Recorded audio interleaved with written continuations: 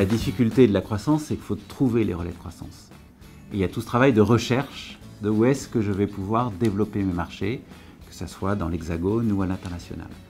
Et que la difficulté des PME, c'est que pour l'instant, bah, cette recherche, elle suppose des moyens, elle suppose des études de marché, elle suppose de croître des données, etc. Et tout ça leur semble totalement inaccessible, c'est l'affaire des grands, euh, des grands entre les grands, il faut aller voir les grands organismes de sondage, il faut aller voir les grandes agences de marketing pour faire ça.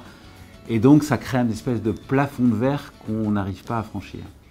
Je pense que les technologies liées au big data, associées au fait que maintenant sur le web, il y a une quantité de données absolument, j'ai envie de dire, inimaginable, euh, vont permettre aux entreprises cet accès aux données. Il va y avoir une réelle démocratisation. Ça va prendre un petit peu de temps parce que ça reste des matières complexes, la statistique, la collecte de données, mais ça va venir.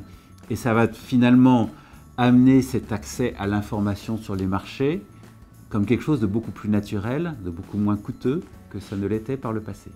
Et je pense que c'est essentiel pour les PME, c'est vraiment une vraie opportunité et ça va répondre à ce défi de la croissance qu'on a vraiment pour les PME, en particulier en France.